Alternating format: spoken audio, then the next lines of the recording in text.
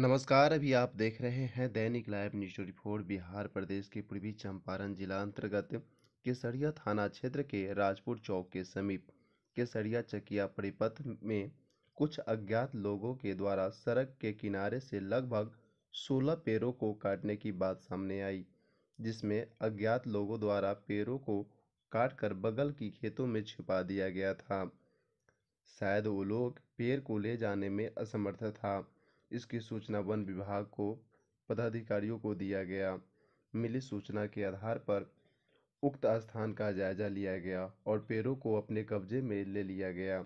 मौके पर वरीय वन पदाधिकारी दिनेश कुमार पांडे वनपाल चंदेश्वर महतो एवं अन्य लोगों की उपस्थिति रही। अब आगे देखना यह है कि प्रशासन कितना सफल रहती है, ऐसे लोगों को पकड़ने में जो पेड़ काटकर प्रकृति को नष्ट करने में लगे हुए हैं। जहाँ सरकार जनजीवन हरियाली की बात करते हैं तो वही ऐसे लोग प्रकृति को नष्ट करने पर लगे हुए हैं।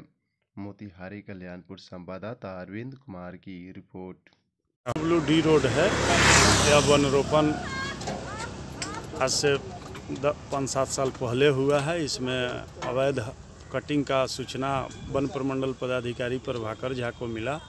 वन प्रमंडल पदाधिकारी के आदेश पर जलेसर महतो, वनपाल चकिया एवं वनकर्मी को लेकर हम लोग आए। सोलह पेड़ यहाँ काटा हुआ, बरामद हुआ। इसको जब्त कर हम लोग जीमे पर दे रहे हैं और प्राथमिकी केसरिया थाना में अज्ञात के ऊपर अभी दर्ज कर रहे हैं। गहन छानबीन की जा रही है। पता किया जा रहा है कि कौन लोग काटे हैं। जिन लोगों का नाम आएगा, उनके ऊपर बाई नेम एफआईआर किया जाएगा। दिनेश कुमार पांडे, वनकर्मी चकिया बनपुर क्षेत्र मोतिहारी।